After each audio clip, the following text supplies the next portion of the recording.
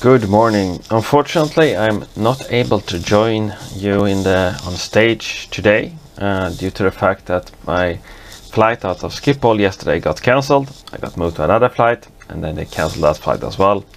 So um, the only flight that they were able to give me was a flight that will bring me at six o'clock this evening. That wouldn't really help with this panel. So I am very sorry for this, and I really is bummed out because the this panel is a very interesting panel, and we got a great team on stage today.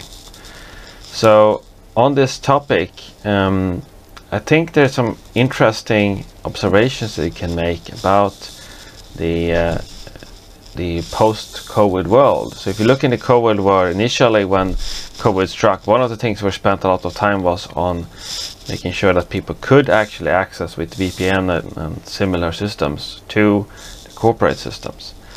And uh, obviously we had to solve that problem and we usually solved it. Um, then we discovered after a while that the next problem was how do you onboard people remotely? And how do you make sure that if the people don't get into the office every day or at least a couple of days a week, how do you make sure that they still are the ones that they initially claimed to be? So what we do see is that there's a lot of more focus on um, on remote identity checks and integrations into both the, the onboarding systems and as well into the runtime systems. Another area that we have seen quite a lot of, of interest in is not only the onboarding of external personnel, be it contractors or business partners or even B2B customers and similar, it's also about the offboarding part. So how do you make sure that the people who no longer needs access um, are actually offboarded? Well, conventionally you do recertification. But it's not that easy for the business. When they see a hundred names in a list, the easiest thing to do might very well be to click, click, click, click, click, click, everyone yes. Because if they ever say no, that's going to cause them problems. So what we do see in that space is that you need to help the business.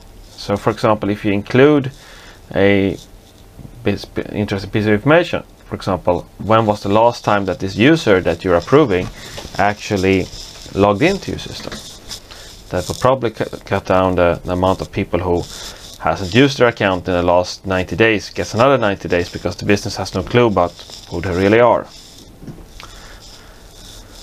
So the overall um, trend I see in this space is that uh, we are trying to not only kind of solve the initial problem with remote access, but also solve the indirect problems of how do you make sure that the people that you do onboard are actually people that they claim to be? And continuous checks as well as the offboarding parts. And the offboarding part's importance is of course for security reasons that you, you want to make sure that that people who no longer has access needs access has access to the system. But it's also getting more and more from a financial perspective as more and more systems is moving from fixed cost builds to per user and month billing. If you have a, a system that is used by 10,000 users, if you already sunk in all your costs, it's not that financially interesting unless you get an audit and it shows up that you have 15,000 users in a system you paid for 10,000 or you need to invest more money to build more capacity. But if you pay for every user every month, let's say 10 euros or 20 euros, being able to offboard 5,000 users, you know, that's 50k per month. That becomes real money in a year. In a couple of years, you can probably do a business case for quite a lot of things when you have that kind of savings.